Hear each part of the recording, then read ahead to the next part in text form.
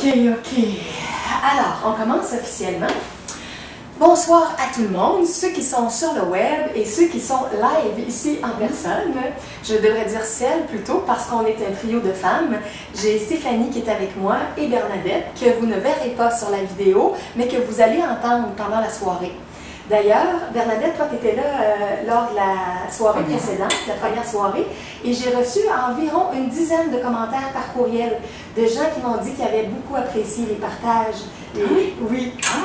Donc, euh, tu sais, des fois, vous vous disiez, euh, on n'est pas habitué, nous, de, de parler, puis que ça soit filmé. Bon, c'est-tu à sa place, c'est-tu correct? Euh, Est-ce que je parle, est-ce que je parle pas? En tout cas, les gens ont aimé ça. Ils sont habitués de m'entendre, mais là, d'avoir des interventions de d'autres personnes, ça a une richesse qui est différente. Alors, euh, n'hésitez pas si vous voulez m'interrompre, si vous voulez commenter, si vous voulez poser une question. euh, euh, c'est interactif, OK? Parfait. Euh, ce soir, nous sommes le 22 mai 2013, le mercredi. Et euh, comme j'avais annoncé dans la première vidéo, j'étais proche du cap d'un demi-million, alors ça a été franchi dans les jours passés. Alors maintenant, il y a plus d'un un demi-million de clics euh, sur la chaîne, ça, ça continue même. Puis le, le nombre de 600 abonnés a été dépassé aussi. Alors merci beaucoup à toi qui regarde, à toi qui en parle à d'autres personnes, qui fait voyager l'information. Ça va de plus en plus vite. Alors merci beaucoup, beaucoup pour ce courant-là de transmission qu'on fait tout le monde ensemble. OK, alors euh, on va commencer avec notre petite chanson du début de la soirée. Je me souviens pas, Stéphanie, si toi tu l'as déjà entendu quand j'ai fait mes conférences au euh, Centre L'Instant Présent. Euh, si je te dis Yeshua Christos, ça te dit quelque chose? Vaguement. Vaguement. En tout cas, tu pourras, me- tu pourras me le dire. hein. C'est une petite chanson mantra encore, très très très simple, mais que je vais modifier ce soir parce que je vais vous donner un choix. Ben, à moins que vous, que vous ne fassiez pas le choix que j'imagine. Euh, si je vous demande de vous identifier à un grand être spirituel, vous sentez-vous spontanément plus proche de Bouddha ou de Jésus? Bouddha. Toi de Bouddha? Ok. Toi Bernadette? Ouais, moi aussi. Bouddha aussi? Mais Ah. de plus en plus de Jésus. Mais de plus en Ouais, plus. mais aussi, ça grâce à ça. je Ben oui, exactement. Ouais. Grâce au livre que tu me conseilles? Oui, oui. Parce qu'avant, je t'aurais répondu spontanément. Plus Bouddha, le Ouais, les parce que enseignements bouddhistes en général. mais euh, même chose. Là. parce que euh, Jésus, pour moi, il était associé à la, à la- à la religion. Oui, Exactement. oui, euh, J'étais euh, en réaction. Oui, on était chaudés de différentes Oui. façons. OK. Donc, la petite chanson d'introduction, c'est un petit mantra qu'on va chanter à trois reprises. Et quand on va le chanter au départ euh, avec vos deux prénoms, on va les associer à Bouddha. Quand on va chanter avec le mien, on va l'associer à Jésus, mais on va dire on va prendre plus l'énergie Christ, donc ça va être Christos. Parce que Bouddha aussi, c'était pas son nom, non. Il y avait Siddhartha Gautama Bouddha, donc il y avait son nom humain, puis il est devenu un Bouddha, c'est un, état de conscience. Alors, euh, dans le fond, on chemine tous en spiritualité pour atteindre des niveaux de présence, des niveaux d'éveil, des niveaux d'amour, de compassion, qui sont de l'ordre de ce qu'on a vu ou de ce qu'on a entendu parler, euh, qui a été vécu par Bouddha, par euh, Jésus, par, Siddhartha Bouddha ou par Jésus Christ euh, et par d'autres maîtres aussi, Krishna ou d'autres. Alors, il y a cette partie-là qui est à l'intérieur de nous. On a tous la, la flamme du Bouddha ou la flamme du Christ à l'intérieur de nous. Mais chaque fois que nos égaux prennent le dessus, c'est voilé, c'est remis à l'arrière-plan, puis c'est l'ego qui, qui devient le, le contrôleur de notre véhicule physique. Mais plus on s'abandonne à la force divine, plus on se laisse guider, plus on est habité de cette présence-là qui est bouddhique ou qui est christique. Alors, euh, mes petites chansons, c'est des petites chansons mantra qu'on peut s'amuser aussi à chanter dans nos journées ou quand on marche dehors ou dans la nature. Et vous allez voir, c'est vraiment très, très, très simple. Puis vous pourrez, euh, à l'occasion, si vous voulez, le- la rechanter. Alors, on va commencer avec toi, Stéphanie. Euh, au départ, on va dire trois fois ton nom, Stéphanie, Stéphanie, Stéphanie. Puis après ça, on va dire Stéphanie Bouddha, Stéphanie Bouddha, Stéphanie Bouddha. Quand ça va être à ton tour, moins. ça va être la même chose avec Bernadette. Euh, on alternera, tiens, pour euh, alterner les noms euh, christiques, on, on- on me fera en deuxième, puis on finira avec Bernadette. Pour moi, ça va être Julie, Julie, Julie. Julie Christos, Julie Christos, Julie Christos. Et Bernadette Bouddha, Bernadette Bouddha, Bernadette Bouddha, OK? Le, premier coup, vous allez avoir un petit peu de misère parce que vous ne connaissez pas tout à fait la mélodie, mais c'est très très facile. Fait quand, vous aurez l'impression que vous pouvez embarquer avec moi, vous embarquerez. OK? Euh, puis moi, quand je les chante pour les aides spirituelles, cette chanson-là, je l'ai composée spécialement pour Jésus, avec mon grand amour de Jésus. Donc, quand je marche dehors, des fois, tiens, je vais la commencer comme ça. Je vais la chanter avec Jésus, vous allez entendre l'air, puis après ça, on va embarquer avec Stéphanie, mais on va faire Stéphanie Bouddha à la place, OK? Alors, vous à la maison, si vous intégrez cette petite chanson-là, vous pourrez prendre votre nom et rajouter Bouddha ou Christos ou chanter des noms d'êtres que vous connaissez. Et des fois, je la chante, je passe en revue tous les noms des maîtres ascensionnés. J'y prends, puis j'ai combine avec soit Bouddha, soit Christos. Euh, OK. Euh, OK, donc ça fait Yeshua, Yeshua, Yeshua, Yeshua, Yeshua, Yeshua.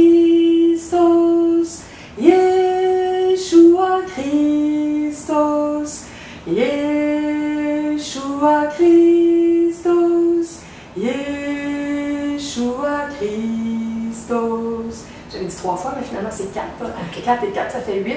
8, l'infini, donc euh, l'énergie euh, divine infinie. Euh, ok, alors on reprend avec Stéphanie Bouddha. Stéphanie, Stéphanie, Stéphanie, Stéphanie, Stéphanie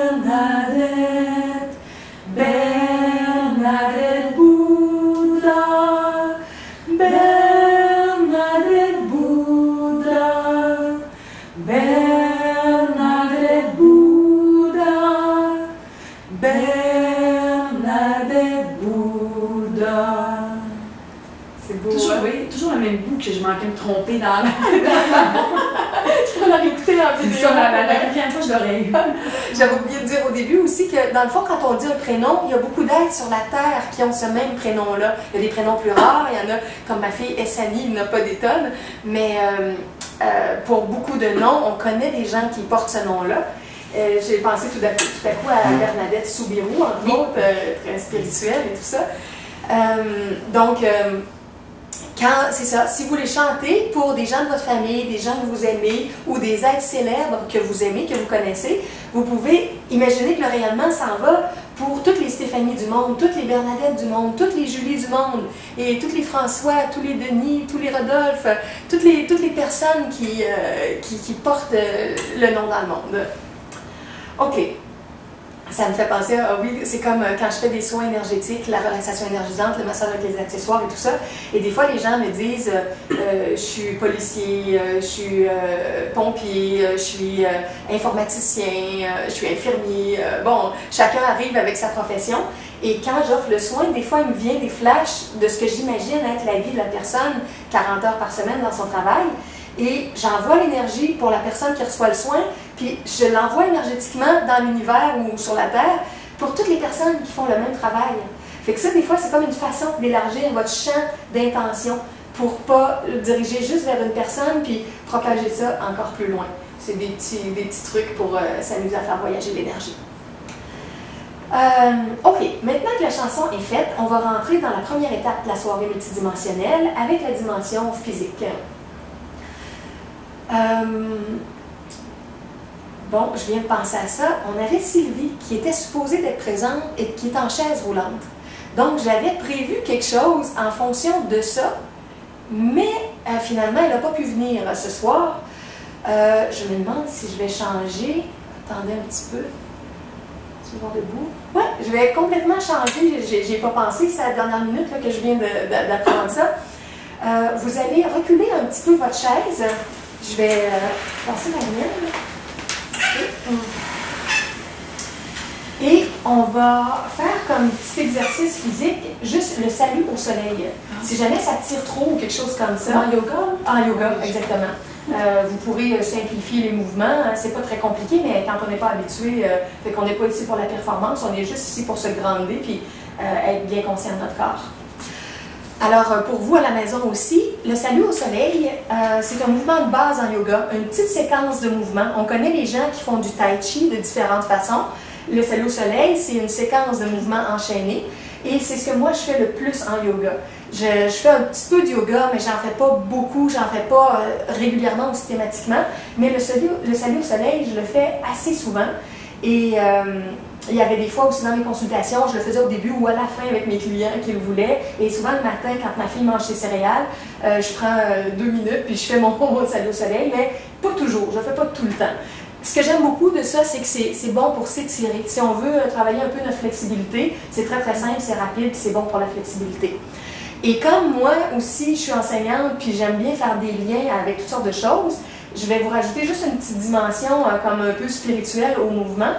Euh, comme c'est le salut au soleil et qu'il y a des fois des, des, gens qui faisaient du yoga, qui le faisaient au lever du soleil, devant toute l'énergie euh, très forte du soleil le matin, Bien, moi, je vous mentionne que euh, dans ma tête, quand je fais le salut au soleil, peu importe c'est quand dans la journée, c'est comme si je m'adressais à mon soleil intérieur ou au soleil extérieur qui est le reflet à chacun de nous de notre soleil intérieur.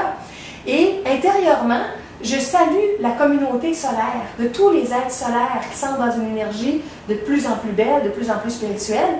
Et pour moi, c'est clair que le Soleil est une planète qui est habitée. Elle vibre très, très, très, très haut. Donc, on pense qu'il n'y a pas de vie et qu'il fait super chaud, mais ce n'est pas nécessairement de la chaleur là où est directement le Soleil, mais de la façon dont ça rayonne en énergie puis que ça traverse toutes les couches. Nous, on le reçoit en chaleur, mais c'est des êtres qui ont un grand, grand rayonnement énergétique pour guider tout un système solaire. Et il y a de la vie aussi sur Vénus, sur Mars, sur Mercure, euh, bon, sur plein de planètes.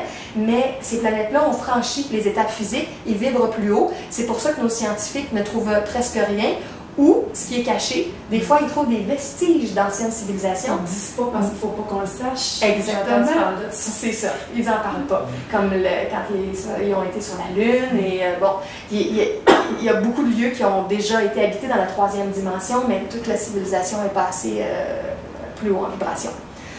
Euh, donc, question. Oui? Penses-tu que ça va arriver sur Terre Oui, oui, oui, parce que nous, on est en processus pour entrer dans la quatrième dimension.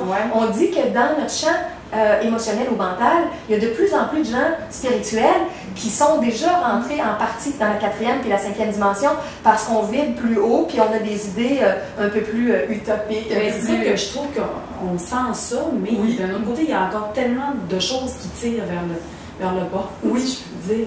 Oui, euh, c'est dur à imaginer encore. On, peut imaginer comme si la, troisième dimension serait un, plancher élastique avec tous les êtres qui, veulent spiritualiser et harmoniser leur vie, qui tirent le plancher pour qui s'élève, qui, qui, monte plus haut, puis tous les êtres qui sont dans l'ego, qui eux l'alourdissent, puis font, le font le, le, plastique descend par en bas. Fait qu'il y a beaucoup de forces en ce moment contradictoires sur la Terre, tous ceux qui tirent vers le bas et tous ceux qui tirent vers le haut. Mais la quantité de gens qui s'éveillent, euh, est grandit constamment. On ne peut pas arrêter le processus de conscience des gens qui sont en train de s'éveiller. Donc, c'est inévitable. C'est sûr qu'il va y en avoir de plus en plus, de plus en plus d'enfants euh, éduqués par des parents spirituels. Donc, ça va augmenter tout le temps. Puis la force qui tire, qui tire, va faire que la vibration va vraiment monter pour qu'un jour, euh, nous autres aussi, notre civilisation soit passée. Et la Terre elle-même, elle ascensionne. Elle, oui, a ben, c'est ça. Elle dit qu'on ascensionné. Oui, oui. qu'on en ressent les, les en tout cas, certaines personnes, en ressent les, les, euh, les, vibrations, mettons, là, euh, par des, physiquement ou. Oui, ils vont ressentir. Ben, mais que c'est déjà commencé, là, en tout cas. Oui. Des fois, ben, c'est dur à expliquer, mais, mais euh, c'est ça. Bon. Oui, c'est un processus qui est très, très lent. C'est comme un arbre qui pousse. Hein. Ça, se fait, ça se fait vraiment tout doucement. Euh, puis il va y avoir des étapes un jour aussi où il va y avoir beaucoup d'êtres humains qui vont être passés dans des vibrations plus subtiles, puis certains êtres humains qui vont être encore restés dans la vibration physique, puis que ça va être euh, plus dur. Tu penses-tu que ça se peut d'avoir déjà été éveillé dans ben une incarnation, puis d'avoir régressé dans une autre parce qu'on on a trop été confronté à notre ego, puis euh, je sais pas, dans des, des, des, des choses, on est arrivé dans une une incarnation où il y avait trop de choses qui nous tiraient vers le bas, puis on fait comme une régression. Oui. Ça se peut, ça? Ah oui, oui. Il y a beaucoup d'êtres spirituels en ce moment qui sentent ça, qui sont en train de redécouvrir des choses qu'ils connaissaient autrefois, qu'on a oublié, dont on est devenu amnésique. Puis comme tu dis, parce que notre ego s'est développé, c'est que quand on a toute une série d'incarnations, on a plein d'opportunités de, créer, d'œuvrer spirituellement, mais on a plein d'opportunités de développer nos égos aussi de peur, euh, de paresse, de gourmandise, d'alcoolisme, de, de, de, colère. Bon, fait que l'ego, il se développe en même temps qu'on fait des apprentissages qui, eux, tendent à nous élever. Donc, euh, par moment, quand les, quand les âmes retrouvent tout leur passé avec la fusion avec l'Esprit divin en eux, il y a des gens qui, à un moment donné, sont capables d'avoir toute, toute la mémoire de leur séquence, puis ils savent où est-ce qu'ils ont été plus haut en énergie, qu'est-ce qui s'est passé, puis qu'ils ont descendu. Oui, c'est ça. C'est jamais définitif euh, de façon assurée. Ça dépend vraiment de des décisions qui sont prises euh, dans chacune des incarnations, parce qu'on peut euh, avoir eu une vie beaucoup dans l'ego, puis être euh, fatigué de ça, puis souffrir, puis changer, puis se relever, puis revenir à l'essence, et vice-versa. Des gens qui ont eu des vies spirituelles et tout ça, puis qu'après ça, ils ont basculé dans la vie plus corporelle, plus matérielle, plus les dépendances. Il y en a que ça fait longtemps sûrement qui sont dans cette vie-là parce que tu, tu regardes, il y a des gens qu'on dirait que ça n'existe même pas. Oui, la oui. dimension spirituelle. Moi, j'en connais. Euh, oui. C'est ça. Fait que probablement qu'eux, ça fait très longtemps qu'ils sont dans des vies comme ça. J'imagine s'ils s'en souviennent pas. Oui c'est vrai, il y en a qui sont vraiment, vraiment pas ouverts à ce niveau-là. Puis il y en a beaucoup, là, c'est surprenant, là, c'est pas, euh, c'est pas juste une personne de même, il y en a pas mal, là. Quand Qui résistent encore, hein, qui veulent. Euh, oui. Qui veulent. Puis, puis, souvent, dans leur famille, ils ont des gens qui qui sont plus portés vers la spiritualité jeune, mais souvent. Ben moi, j'ai un exemple, mon père et mon frère, c'est comme ça. Ils sont, sont pognés avec une, personne comme moi puis ma mère. Qui, oui, ici, de l'autre bord. Deux clans dans une même famille. Oui. Puis c'est bon en même temps parce que euh, on s'influence mutuellement. Parce qu'il y a beaucoup d'amour dans une famille, ça nous aide à accepter les différences. Ce qu'on a beaucoup plus de misère à faire avec des étrangers, mais dans notre propre famille, on est obligé de faire des compromis. Fait que c'est aidant des deux côtés pour se comprendre dans les, les tendances inverses. Euh, OK, on revient au salut au soleil. Donc, moi, je vais me tourner un petit peu parce que je vais le faire plus euh, vers la caméra. On se trouve à monter nos bras vers le ciel ou vers l'astre solaire et on s'étire vers le haut. Et on peut étirer vers l'arrière. Ensuite, faites attention pour ne pas faire mal à votre dos. Tout ça un peu dans l'arrière et on revient. On penche vers l'avant, le mouvement complètement inverse. Et on sent que ça tire pour que nos mains aillent vers le sol. On revient. Doucement, on déroule. Moi, je le modifie un petit peu. Euh, le salut originel, le salut au soleil, on fait juste ces deux mouvements-là, mais là, on va en rajouter un à droite. On va d'un côté, on étire un côté du corps et on étire l'autre côté. On revient. Et là, on repenche, comme on était tantôt si on n'avait pas ajouté les deux mouvements. Là, la caméra, je pense qu'ils ne verront rien. On fait une flexion, sur le, on prend appui sur la jambe droite ou la gauche, là, c'est pas grave, l'une ou l'autre, puis on étire une jambe derrière. En tout cas, vous entendez ma voix. Si vous ne voyez pas, vous, euh, entendez. On ramène la jambe qui est en arrière et on change de jambe. OK. Après ça, on prend appui sur nos deux mains en poussant la jambe derrière. Donc, on s'appuie sur nos deux pieds. Et là, on arque le dos vers l'arrière. Vous pouvez déposer vos cuisses au sol si vous voulez. Juste étirer un petit peu le dos. Et on fait le mouvement inverse. Vous poussez vos fesses vers le haut et ça fait un V à l'envers. Les mains au sol et les talons qui tirent vers l'arrière. Ça tire dans les jambes. Et on ramène les jambes. On déroule doucement le dos. Et moi, je fais un grand cercle pour finir, mais c'est tout le monde qui le fait. On peut comme remercier à l'intérieur de nous pour tout ce que les êtres solaires font dans notre système solaire et dans les autres systèmes, dans les autres galaxies. Ce sont les présences qui soutiennent la vie vraiment pour euh, la croissance, la floraison, euh, euh, le réchauffement et tout ça. Alors, bon, ça fait une, petite séquence.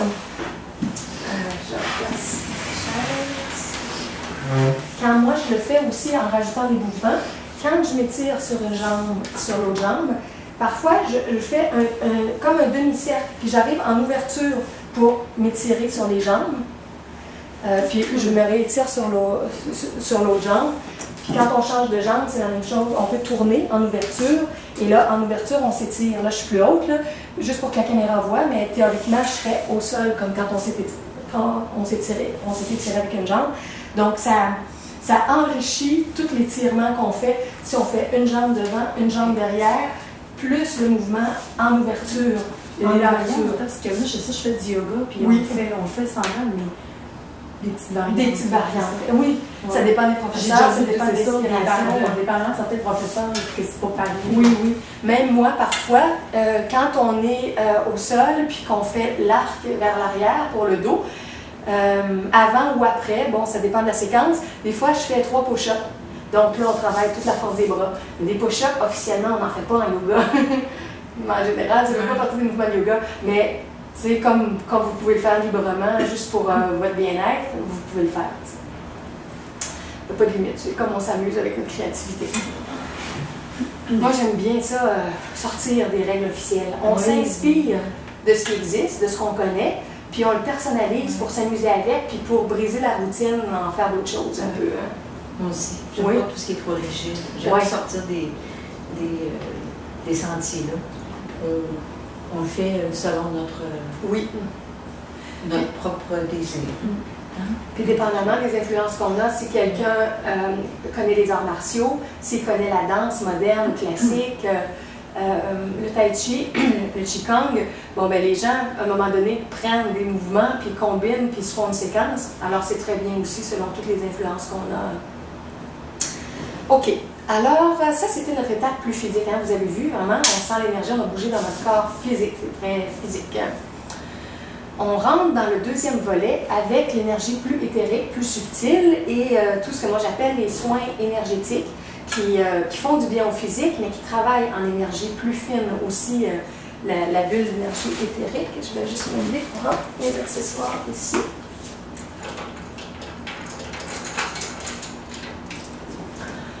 OK. Alors, ce soir, ça va être un autre petit élément de tout ce qui est la relaxation énergisante ou le massage énergétique avec accessoires.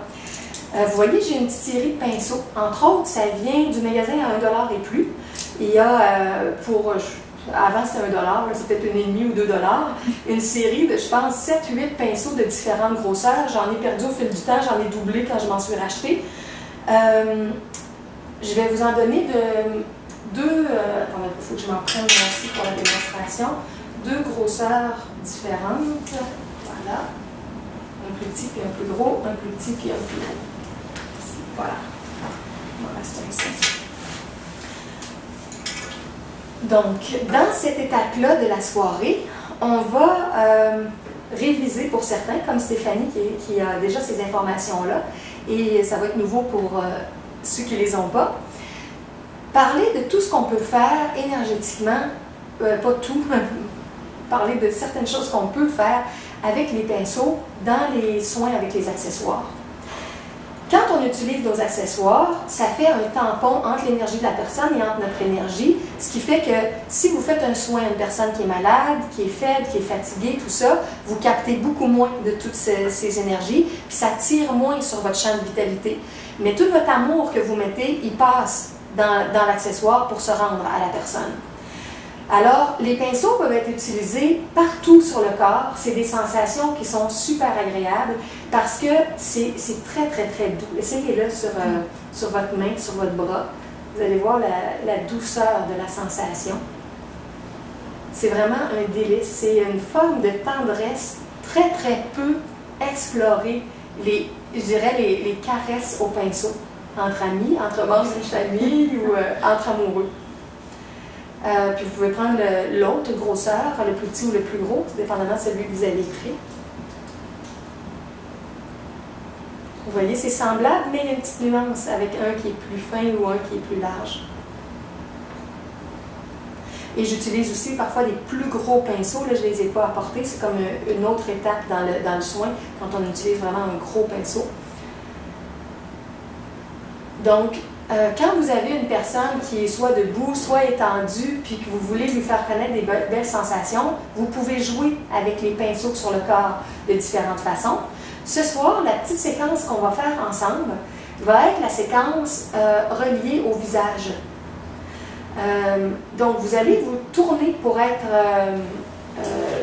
ou bien, je ne sais pas s'il y en a une qui va être soit debout, peut-être qu'assis, ça ne marchera pas. Oui, c'est ça. OK, reste assise, Bernadette. Stéphanie va être debout, puis après ça, on inversera pour quelques secondes. OK? Donc, euh, je vais juste partir la musique pour qu'on ait une petite musique douce, puis je vais guider un, un petit moment de relaxation au pinceau sur le visage. Donc, à la maison, si vous avez quelque chose de très, très doux, vous pouvez aller le chercher. Si vous n'avez pas de pinceau, euh, ça peut être un petit, euh, une plume ou un petit morceau de linge doux, euh, quelque chose qui est doux autour de vous. Je reviens.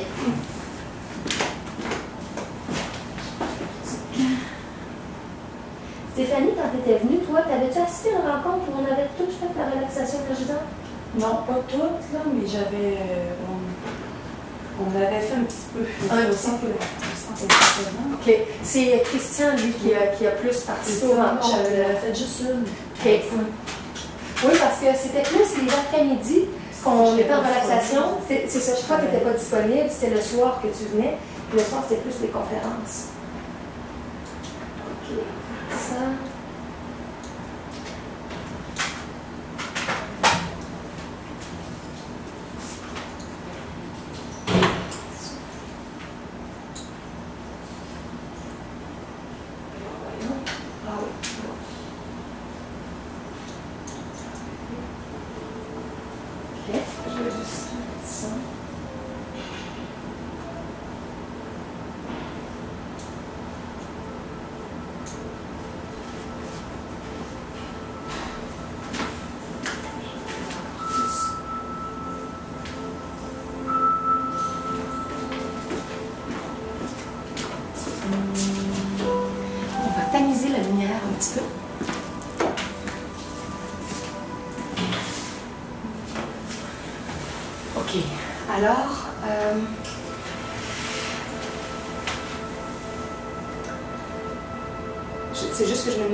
L'invocation des guides de lumière.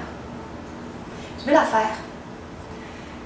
Souvent, quand on fait toute la séquence, on va commencer par la tête. Donc, il y a l'invocation des guides de lumière, puis après ça, on commence. Alors, je fais l'invocation, puis après ça, je vais guider avec les pinceaux. Je demande à nos guides de lumière de se rapprocher. Je souhaite la bienvenue à mon guide, au guide de Stéphanie, au guide de Bernadette et à vos guides, à chacun et chacune de vous à la maison. Je demande à mon esprit divin et mon âme divine de m'aider au, au niveau de mon âme humaine pour élever le plus possible mes énergies tout au long du soin et dans la suite de ma vie. Je demande la même chose pour vous, que votre âme divine, que votre esprit divin vous aide au niveau de votre âme humaine pour élever le plus possible vos énergies pendant le soin énergétique et à tous les moments dans votre vie, que votre plan humain et divin se fusionne de plus en plus. Je demande à la Mère divine, au Père divin et à l'Enfant divin, qu'on appelle aussi le Christ, je demande à ces trois forces de nous aider à les incarner pour qu'à travers tout ce qu'on a à faire, on devienne de plus en plus des êtres euh, lumineux dans notre énergie comme paternelle, maternelle ou enfantine, qu'on retrouve l'essence de ça à l'intérieur de nous dans nos relations avec les autres. Et finalement, je demande aussi aux anges, aux archanges, aux chérubins, aux séraphins, à tous les êtres de la hiérarchie angélique qui voudraient se joindre à nous ce soir ou qui voudraient nous inspirer à d'autres moments de nos journées. Ils peuvent nous transmettre des énergies de guérison, des énergies d'inspiration, des solutions, quoi que ce soit qui peut être utile pour nous, ils sont les bienvenus. J'avais dit finalement, mais il reste la source, la grande source. J'invite la source une, la source originelle, à émaner des énergies blanches et dorées qui traversent toutes les dimensions de la Terre, toutes les dimensions de notre être, qui entrent en nous, dans chacun de nos corps, ici, chez vous, à la maison. Et cette énergie se répand aussi dans toute la maison, tout l'immeuble, sur la rue, dans la ville ou le village où vous vivez, dans toute la région, dans le pays, partout sur la terre, pour former un beau cocon de lumière blanche et dorée qui entoure toute, toute la planète. De l'énergie de la source qu'on appelle, qu'on invite. Ok, alors euh, c'est une façon de le faire, mais vous pouvez personnaliser tout ça quand vous faites une invocation de protection ou de, présence divine. On commence avec le pinceau le plus gros. Et euh, bon, d'habitude, on a toute la tête et la boîte crânienne. on va faire juste le visage. On vient au niveau du front et on tourne en sens anti-horaire, dans le sens contraire des aiguilles d'une montre, de façon à faire en sorte que c'est comme si l'énergie s'élève vers le haut au lieu de se densifier vers le bas. Donc, c'est comme si vous avez une montre sur le front, et au lieu de tourner dans le sens des aiguilles d'une montre, vous tournez dans l'autre sens. Alors, on met le pinceau sur le front, et on fait juste imaginer qu'on vitalise, qu'on envoie une belle énergie blanche et dorée au niveau du front.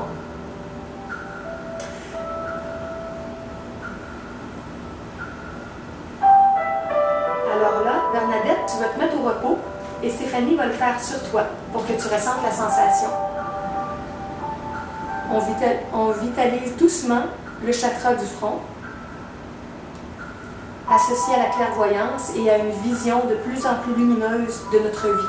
Comment gérer notre vie dans la lumière, voir les choses autrement. Ensuite, on fait des mouvements de gauche à droite, comme des lignes sur le front. Puis on se rend tout près des tempes de chaque côté.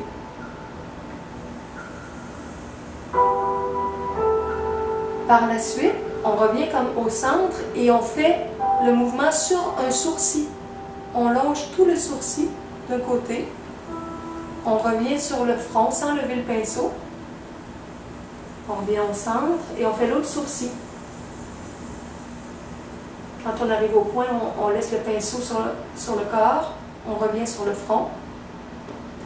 Et là, on revient au centre à nouveau et on va descendre sur la paupière du premier sourcil qu'on avait fait. Et là, vous pouvez faire deux, trois mouvements de va-et-vient gauche-droite sur la paupière de la personne pour mettre son œil au repos. Et vous pouvez passer en dessous de l'œil, faire le tracé tout en dessous et revenir vers le front. On revient au centre et on va faire l'autre paupière. On envoie le pinceau sur l'autre paupière des petits mouvements de gauche à droite pour que l'œil gauche se détende.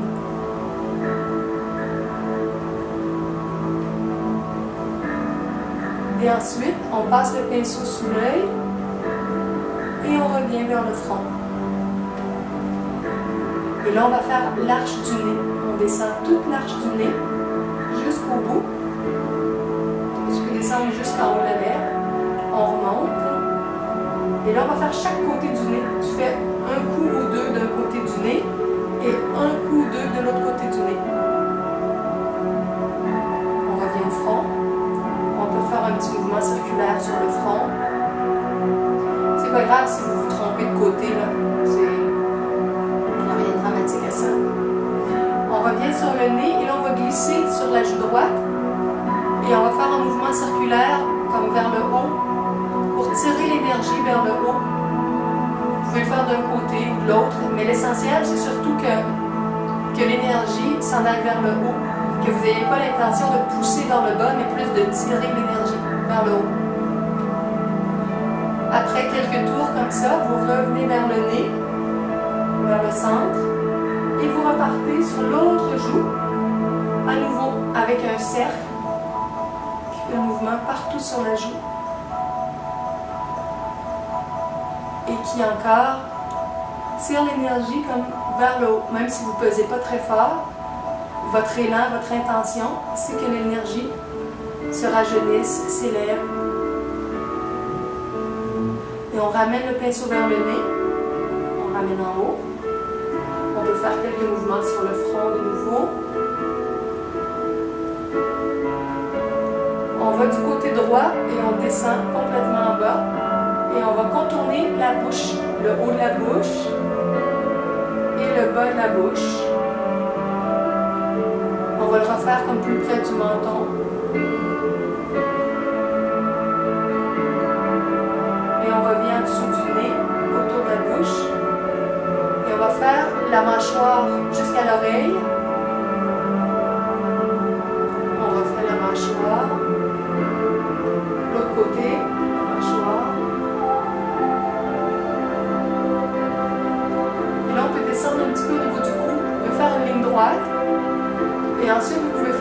Chaque côté. Une série de lignes du côté gauche ou du côté droit. Vous pouvez laisser le pinceau sur le corps ou le lever un petit peu comme vous le sentez. Et après un côté, vous allez faire des lignes de l'autre côté. Comme des diagonales qui partent de plus bas et qui montent. C'est comme si on faisait une petite peinture, comme si on peinturait le cou de la personne. Et on finalise comme avec le V, là, le, tout le V le plus bas du cou,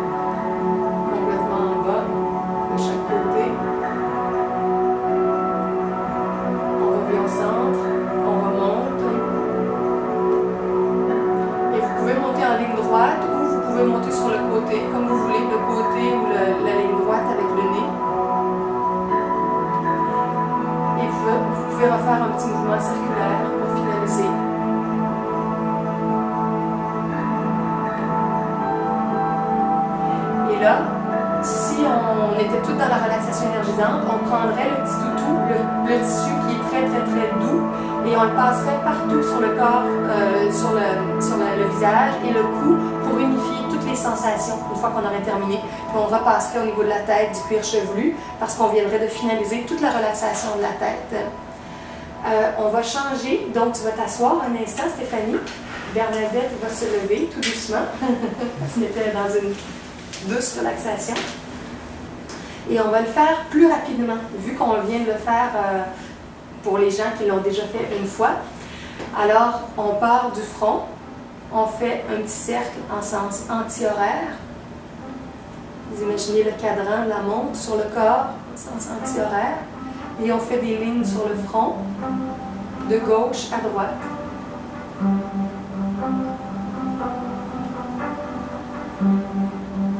On revient au centre et on, on passe le pinceau sur un sourcil. On arrive au bout, on remonte vers le front.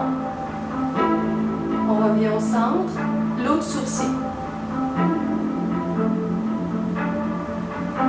On remonte doucement sur le front. On revient au centre. On va sur l'œil droit. Vous pourriez commencer par le gauche, ce serait pas grave. Et on fait quelques lignes gauche-droite sur la paupière pour la détendre, pour détendre l'œil. Nos yeux qui travaillent fort chaque jour. Et on finalise avec un mouvement sous l'œil qui remonte vers le front.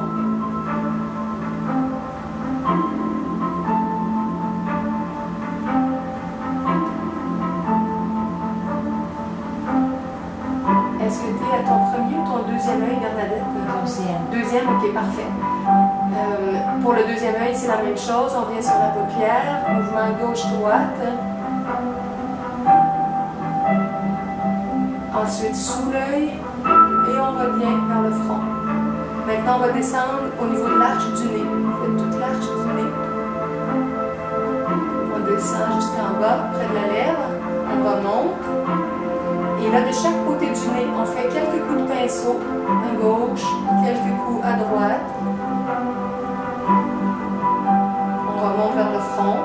On peut aller faire un cercle ou quelques lignes sur le front. On peut redescendre par le nez ou par la joue, d'un côté ou l'autre. Et là, on vient sur on fait un cercle qui tire l'énergie vers le haut.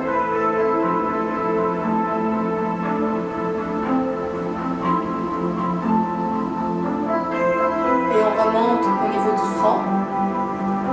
Et on va descendre de l'autre côté, soit par le nez, soit par la joue. Idéalement, vous faites les deux mouvements de la même façon, gauche-droite, pour que ça soit symétrique. Les deux fois en descendant par le nez ou les deux fois en descendant par le côté de la joue.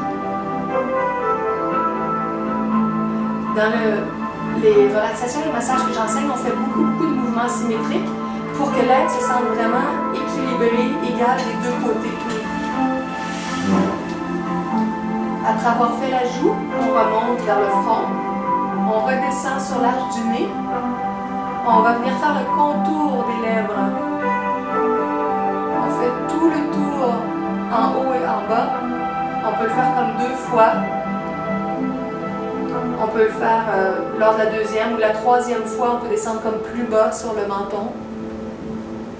Vous pouvez le faire en, en tournant ou vous pouvez faire des mouvements gauche-droite autour des lèvres. C'est une, une, zone qui est toute sensible aussi sur le corps. Et vous faites le tracé de la mâchoire vers l'oreille de chaque côté.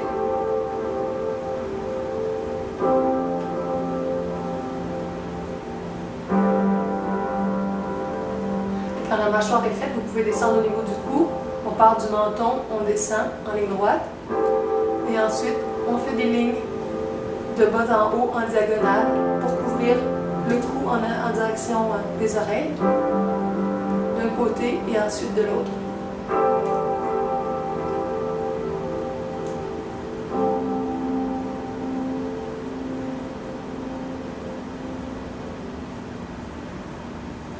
Une fois qu'on a bien fait tout le cou, on peut bien tracer le V, comme le grand V qui entoure toute la zone du cou.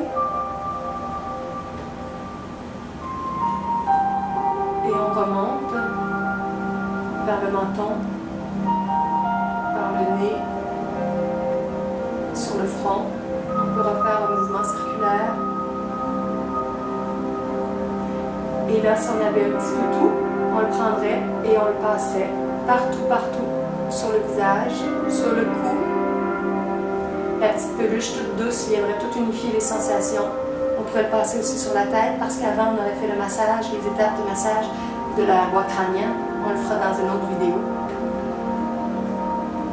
Et si on avait aussi fait la boîte crânienne, on aurait fait les oreilles et on aurait pris les petits pinceaux plus petits, plus petits que celui qu'on prend pour le visage, et on aurait fait certains mouvements au niveau du pavillon de l'oreille, au niveau de l'intérieur de l'oreille, du tour de l'oreille. C'est délicieux aussi le petit pinceau qui est au niveau des oreilles. Alors on va prendre trois grandes respirations pour finaliser tout ça. On inspire.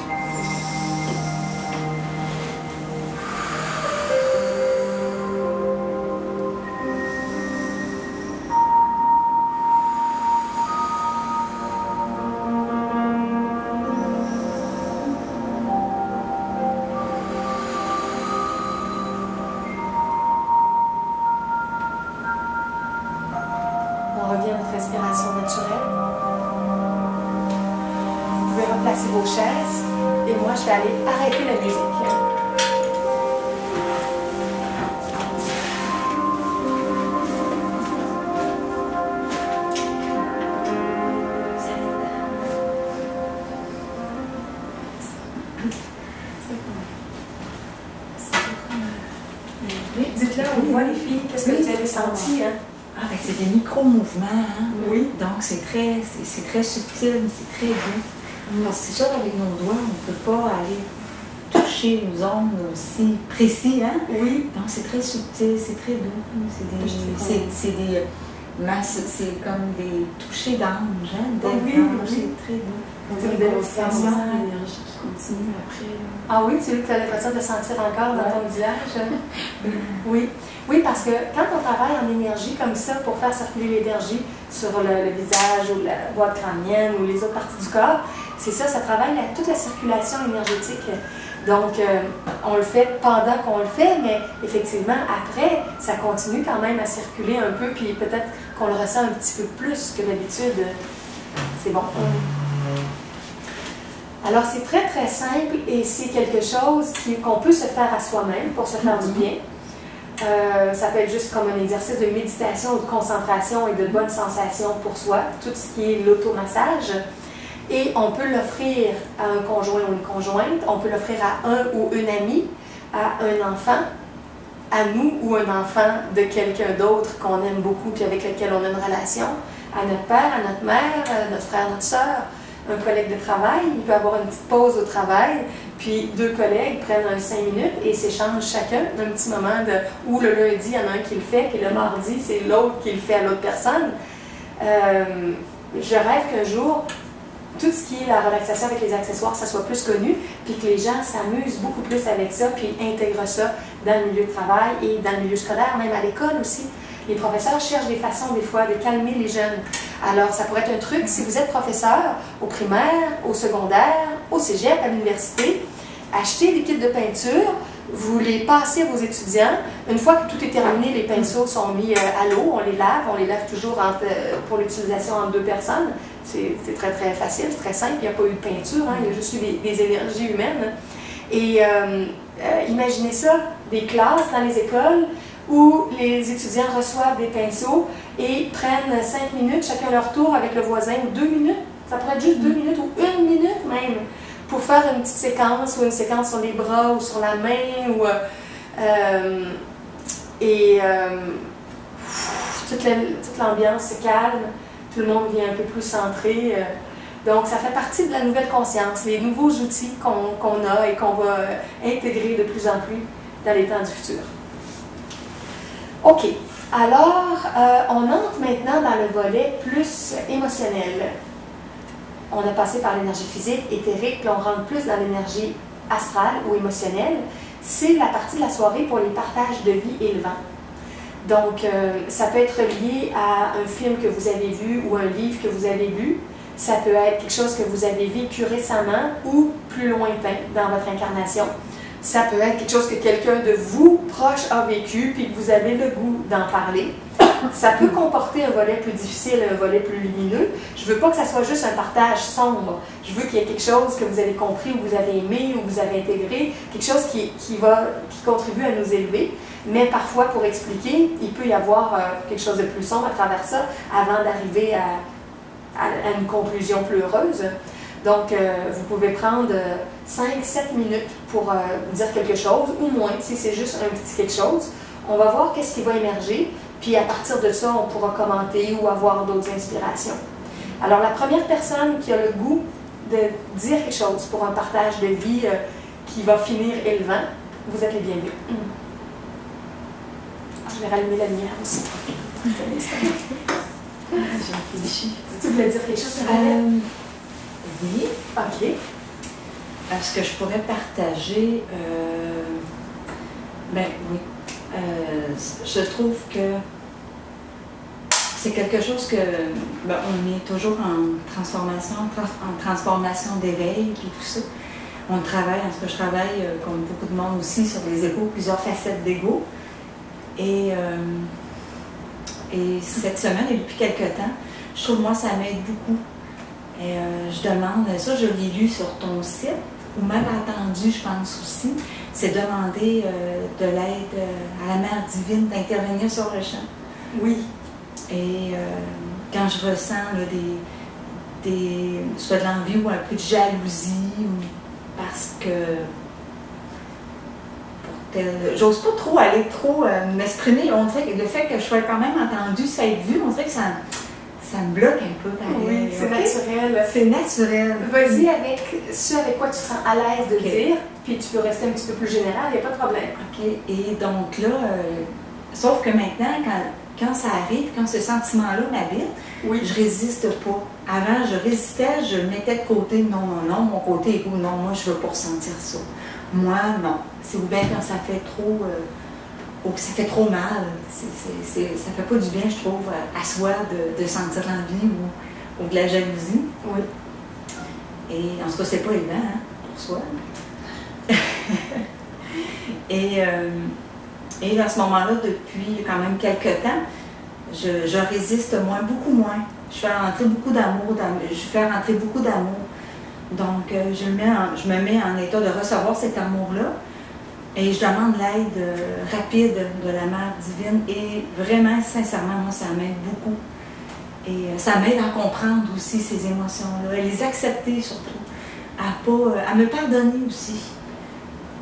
Moi, je, Puis tu as vraiment remarqué qu'en demandant la présence de la Mère divine, il y a, il y a une, énergie, une force différente que tu sens à Parce que mon intention, elle est sincère aussi. Oui. Ouais. Fait que oui, c'est rapide. Fait que je me sens comme un manteau sur moi. Je me sens, puis même parfois j'ai des frissons. Fait que pour moi, c'est très rassurant. Puis même, je suis même contente, puis même j'ai un sentiment de gratitude parce que je me dis, avec tous ces changements-là qui arrivent dans ma vie, ces sentiments-là sont de moins en moins. Aussi, moins de jalousie, moins d'envie, même quand je les ressens, quand ils sont présents, c'est moins intense. Donc, genre, waouh, j'ai bien, j'ai bien agi, j'ai bien réagi. Euh, ça a été euh, plutôt aisant pour moi.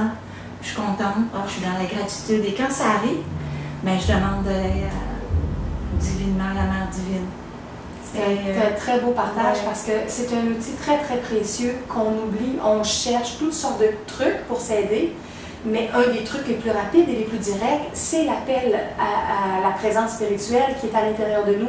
Cette mère-là qui est au fond une partie de notre être. On, on, peut imaginer que c'est externe, mais dans le fond, c'est dans la racine de notre être qui existe la mère divine, comme le Père, comme l'enfant divin. Donc, c'est très beau que tu nous le rappelles ce soir et de, nous témoigner que justement, tu en sens la présence. moi aussi, j'ai cette pratique-là dans ma vie. Euh, des fois, on appelle ça la mort en marche, parce qu'on parle de la mort de l'ego, que notre ego, on lui donne de moins en moins de place pour vivre dans notre essence. Puis, des fois, on fait des retours sur notre vie. Quand on a un temps de tranquillité, on revient sur une expérience qu'on a vécue dans la journée ou X jours avant. Puis là, on, on essaie de voir qu'est-ce qu'on n'avait pas compris, qu'est-ce qu'on aurait pu faire autrement pour que ça soit moins souffrant.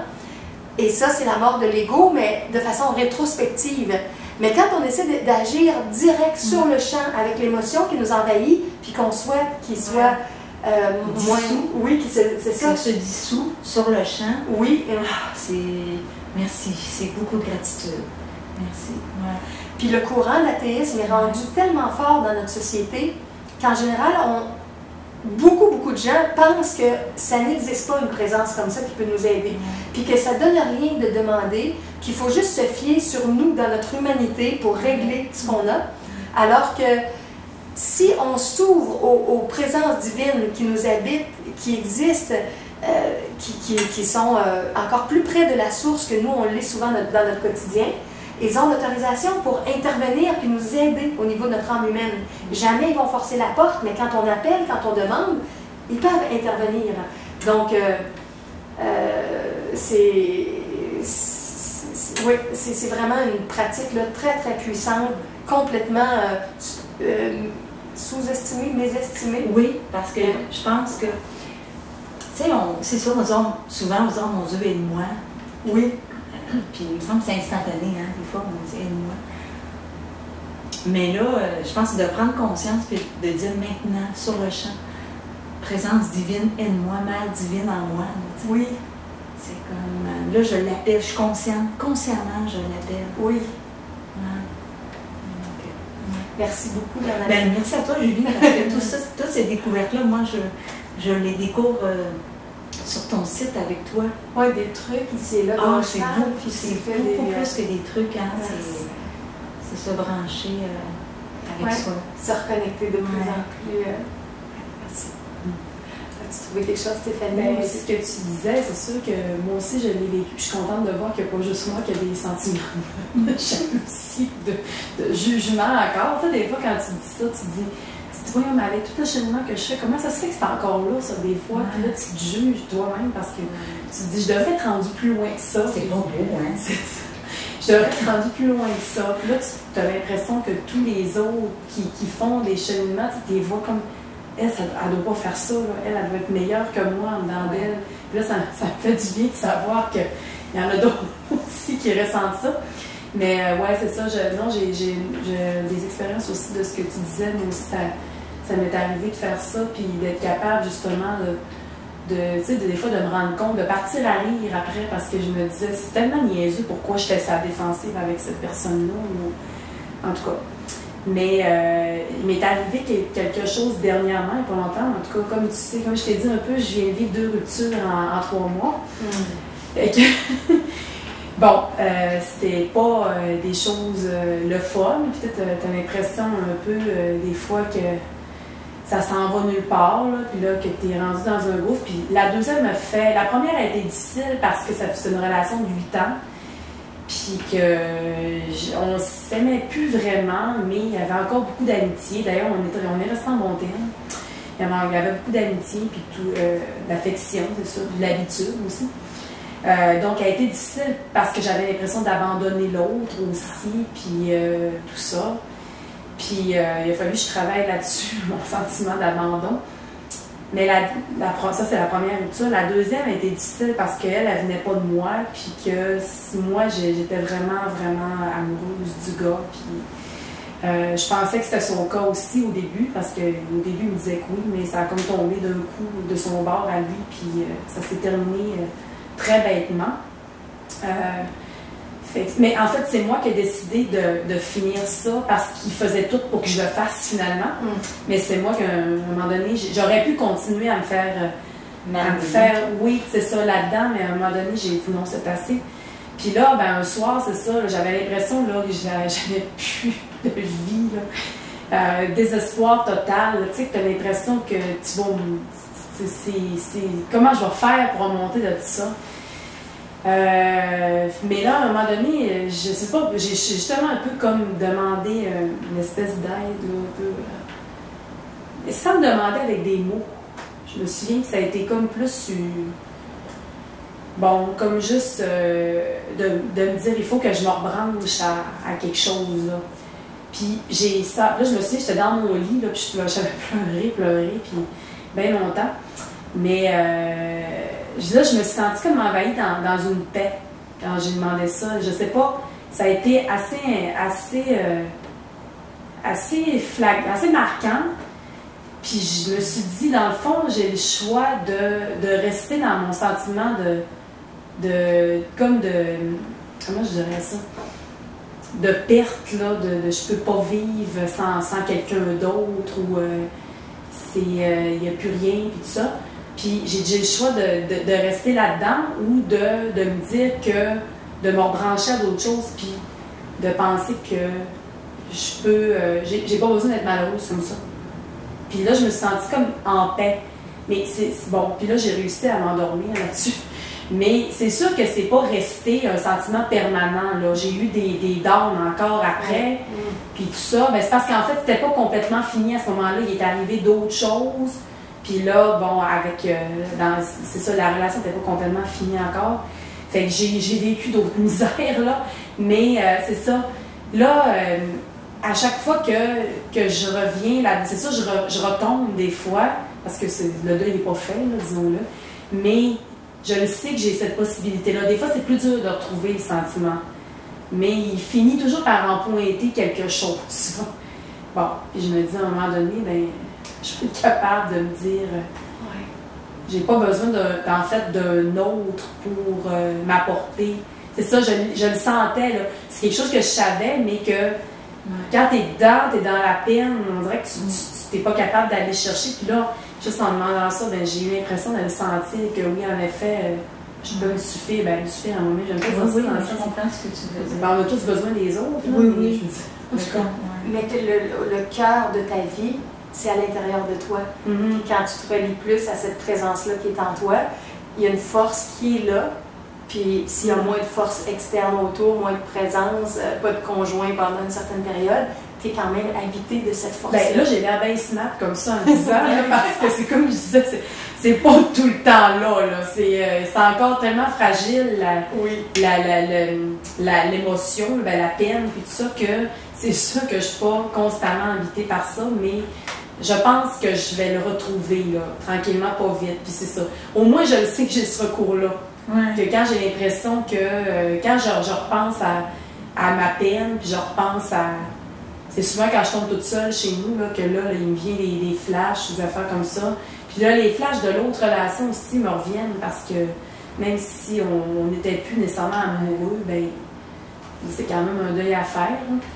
Fait que là, en tout cas, c'est ça. J'essaie de me, re- de me remettre dans cette émotion. C'est pas toujours facile. Des fois que c'est plus facile que d'autres. Des fois, c'est plus difficile. mais- Puis Ouais. plus les gens arrivent à faire ça, moins ils rentrent dans des expériences dramatiques quand il y a un changement relationnel. Parce qu'ils ont des, des moments, même s'ils sont brefs, même s'ils ne sont pas encore durables, où ils reconnectent cette force-là en eux. Puis ça fait moins de crises de larmes, moins de dépression, moins de peine d'amour longue et tout ça. Parce que quand on dit peine d'amour, c'est plus des peines de dépendance. Mm. Ouais, ben c'est ça que je Hein? réalisais parce que dans le fond, c'est ça, j'ai dit. C'est c'est comme, euh, oui, c'est de la dépendance. Je- J'ai vraiment réalisé euh, Oui. pourquoi je peux pas. J'ai l'impression que je peux pas vivre sans l'autre et tout, parce qu'en réalité, on peut. Ouais. Ben oui. Mais. C'est un manque d'amour hein, envers soi. Ouais. Moi, ça fait deux ans et demi que je suis célibataire. Puis je comprends ce que tu vis. Quand moi, j'ai 43 ans, toi, t'es dans la jeune. Non, non, non, j'ai 33 ans. Oh mon Dieu! Merci de me.